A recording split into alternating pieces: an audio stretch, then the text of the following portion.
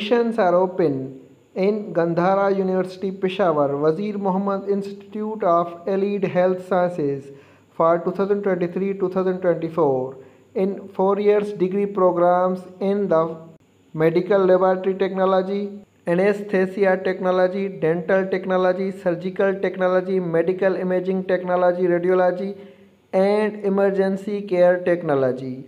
Last date to apply is 30 September 2023.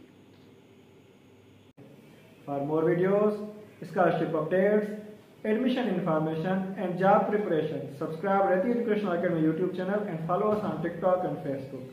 Thank you.